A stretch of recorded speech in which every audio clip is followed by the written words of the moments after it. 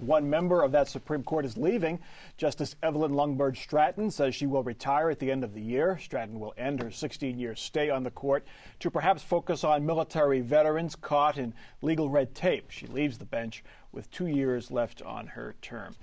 Justice Stratton, Reggie, what kind of a justice was she? Was she? Um, you know, I thought she was generally well liked. You know, as you know, uh, as a justice, um, there six of the seven justices are Republicans. She was one of the Republicans. Um, you never really you know, uh, kind of had to guess too much about which side she was going to vote on. She tended to vote it uh, with the conservative issues and on the conservative side.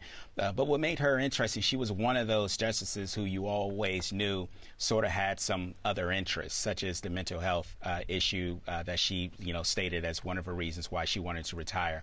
And so I think a lot of people sort of knew her from that standpoint. It was, you know, as an, as an interesting person aside. We know that one of the other justices, um, Justice Pfeifer, for for example, has made you know the death penalty an issue you know for him. So um, she was interesting, and she sort of distinguished herself on the bench uh, for uh, for her causes outside of the bench.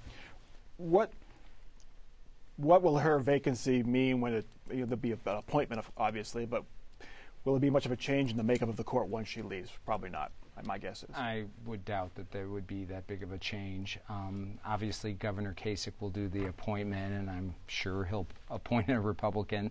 And I think um, it, they'll appoint a judge who, you know, will do a good job, but probably will come from a similar perspective. There's no question he's going to appoint a Republican and probably a conservative, and there's not much you can do about that. Um, that's that's his right. I can. I think we should. The only thing we can hope for is that it's somebody who's really well qualified and not some political crony pal of either the the Summit County Republican chairman or the Franklin County Republican chairman, both of whom were very instrumental in government's case in Governor Kasich's war to get rid of Kev, Kevin DeWine as the state chairman. Julie, Justice Stratton said that she was leaving now to give her replacement a chance to have a strong footing on which to run for reelection. How about an idea? You, you announce you're leaving at the end of your term. And that would give two candidates a strong head start and to make their case to, to run for this seat. Yes, exactly. Um, it, it, does make it look like, um, you know, that they were trying to, or she was trying, I think, to give someone. She said she got appointed herself and yeah. she didn't feel she had enough time.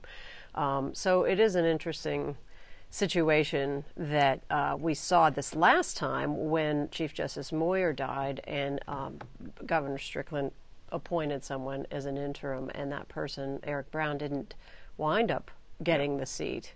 Um, and so, you know, maybe they looked at that and they thought, you know, we need a little more time to get that person. You know, and she, again, as much as judges try to get away from their political, yep. you know, being who they are politically, uh, she never really made any, you know, you know, qualms about the fact that she is a Republican. So it doesn't surprise me that she would do this now, yep. where a Republican governor will have a chance to replace her. Well, and, and the Columbus City Council does the same thing. When right. a Democrat leaves, they they leave her before their term is up and everything.